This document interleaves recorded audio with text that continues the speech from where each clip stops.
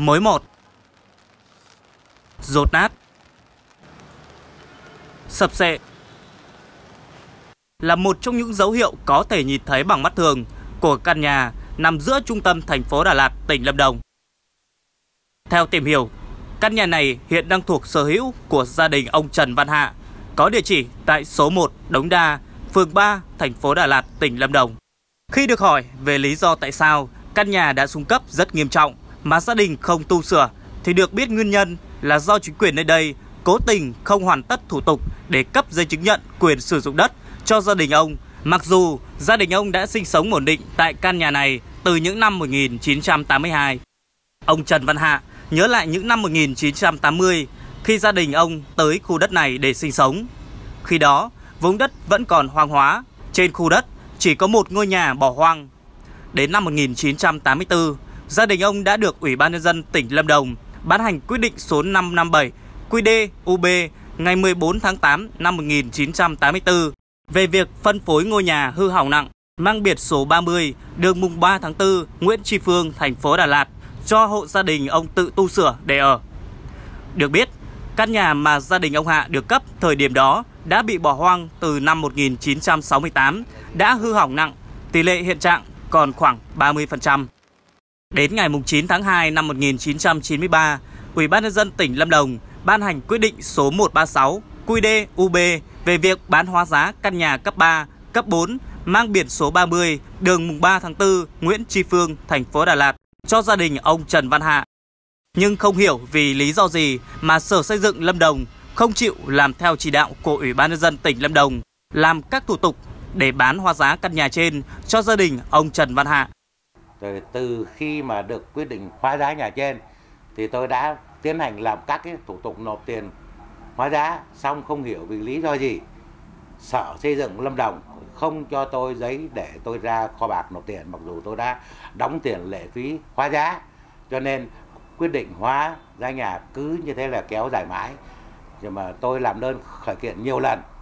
Không có một cái văn bản nào, một cái quan điểm nào, một ý kiến nào hoặc một cái văn bản, một cái quyết định nào bác bỏ cái quyết định đã khóa giá nhà cho tôi từ năm 93 và trong thời thời gian ở trên thì tôi vẫn cứ nộp thuế sử dụng đất sau khi mà luật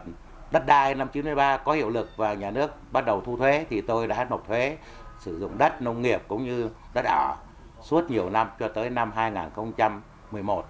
Mặc dù vẫn đóng thuế đầy đủ đến năm 2011, thời điểm Ủy ban nhân dân tỉnh Lâm Đồng yêu cầu dừng thu thuế, thế nhưng trước đó Ủy ban nhân dân tỉnh Lâm Đồng đã ban hành quyết định số 1791 QĐ-UB ngày 14 tháng 7 năm 2005 quyết định về việc thu hồi toàn bộ nhà đất mang biển số 01 Đống Đa, phường 3, thành phố Đà Lạt, tỉnh Lâm Đồng để giao cho Trung tâm Quản lý Nhà, thành phố Đà Lạt quản lý. Cũng theo ông Hạ, việc thu hồi toàn bộ diện tích đất của gia đình ông lại không hề có lý do.